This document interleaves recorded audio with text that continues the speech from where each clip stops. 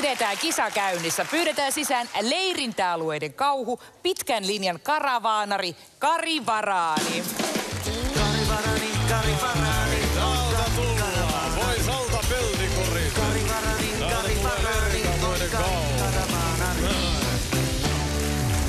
Hanskaa, lasi ja harmaa vesi säiliön tyhjennykseen. No niin, terve Kari ja onneksi olkoon, kun sä pääsit jatkoon. No jatkoajalla ollaan, sano Varaanin Kari, kun pallolaajennuksessa kävi. Vai niin? Pallolaaja. Tiedätkö, mikä on karavaanari pallolaajennus? No, mikä? Vaihdetaan pieni pallogrilli isompaan pallogrilliin. Nää ei muuta kuin makkarat grilliin. Mitä, onko sulla uudet kengät? Kyllä, telkkari asti kun pääsi, niin se oli laitettava parhaat tanssikengät jalkaan ja saanko esitellä karavaanarin kansallisjuoma? Harmaa vesi on the crocs. No nyt oli nokkela.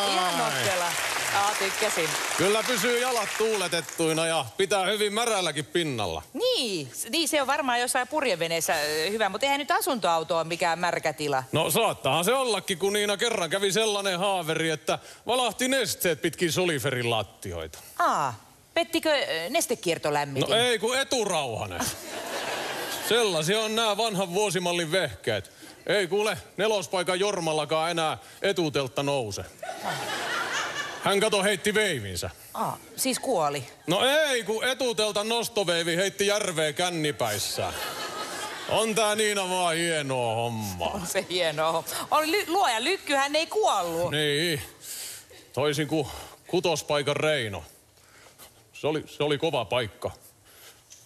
Silloin kun Reinon vankkurit viimeisen kerran pysähtyi, niin silloin me äijien kanssa nostettiin saunavuoron jälkeen kättä lippaa ja etuteltat puolisalkoon. Se oli aivan hirveetä. Joo, ei, eihän siitä mihinkään pääse. No kyllä siitä pääsee, kun riipasee leirintäalueen kaikki harmaa vesisäiliöt tyhjäksi kertalaakilla. On tää kaikesta huolimatta Niina hienoa hommaa. Epäilemättä. Kiitos Kari Varaani. Näin. Ei muuta kuin puskaparkkiin ja paskapurkkiin.